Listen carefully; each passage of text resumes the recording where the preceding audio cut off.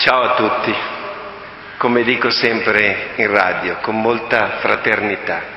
Un caro saluto al nostro arcivescovo, è il vostro da un punto di vista geografico, ma è anche mio, perché è nella Chiesa. E sono felice di questa presenza di Chiesa nella persona del suo rappresentante Massimo perché questo che stiamo vivendo, care sorelle e fratelli, è un momento di grazia. Io mi sento indegno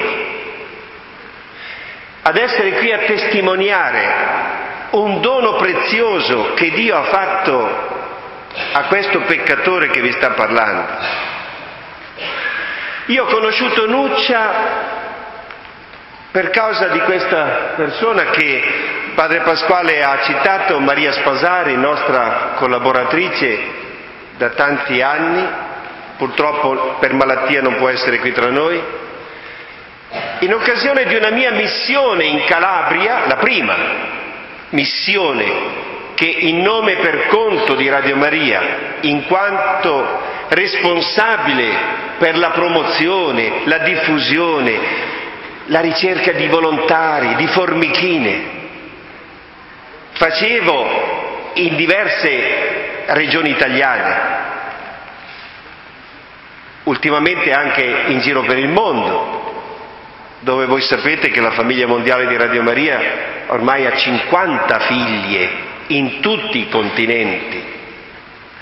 Questa missione in Calabria iniziava a Catanzaro, Arrivai, ricordo molto bene, quel giorno con più di un'ora di anticipo rispetto agli orari prestabiliti, concordati con Maria.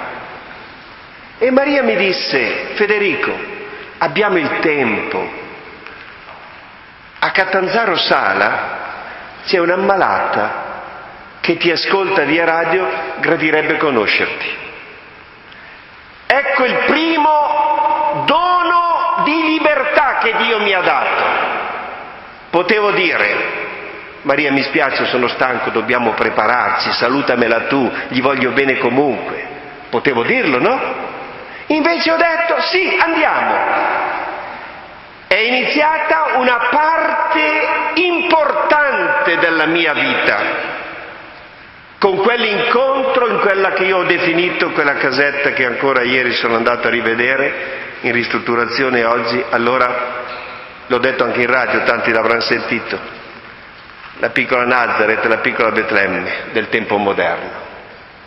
Sono affezionato a quella casa, ma ancora di più a lei, perché lei, risentendo il testamento spirituale, rileggendo il testamento spirituale, quando attraverso i nostri microfoni per opera della nostra collaboratrice Maria Spasari, quella notte trasmettemmo quel testamento, risentendolo e rivivendolo oggi per rispondere alla domanda provocatoria che mi ha fatto Padre Pasquale, qual è l'emozione? L'emozione è quella di essermi trovato, io piccolissimo, in una realtà più grande di me, che non ho valutato nel suo valore, nel momento contingente, in quei circa tre anni che ho condiviso con lei, di notte, a notte fonda. Lei disse, Federico, la nostra trasmissione chiamiamola Beati gli ultimi. Ecco l'emozione, Padre Pasquale. Beati gli ultimi. E io mi sono sentito e mi sento tuttora ultimo davanti alle grandezze di Dio. Una frase sua che spesso mi ripeteva quando ci telefonavamo, magari privatamente, ma anche quando dialogavamo pubblicamente dai microfoni di Radio Maria, lei da casa sua col telefono, io la chiamavo e la mandavo in onda, in diretta. Quante volte mi ha raccomandato Federico, ricordati, servi inutili siamo, abbandonati alla volontà di Dio. Oggi ci siamo, oggi siamo utili per un certo servizio, domani potrebbe essere tutta un'altra cosa. Ti prego, ricordati, servi inutili.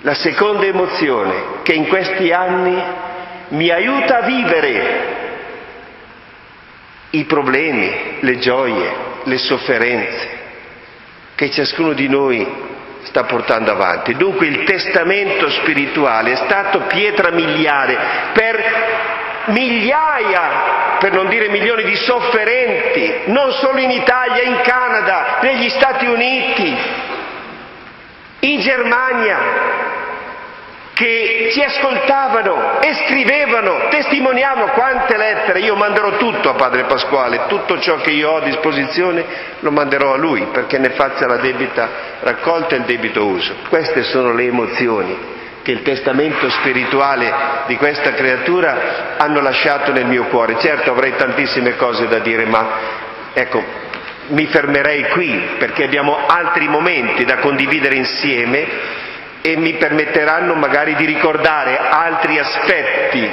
del rapporto che io ho avuto con Nuccia e ringrazio Dio. Ringrazio Dio. Nuccia è stato uno dei momenti importanti non solo della mia vita personale perché io passo, ma lo strumento di evangelizzazione rimane. E perciò Nuccia è stata strumento, ne parlerò dopo, una conduttrice anomala. Ne parleremo dopo, grazie.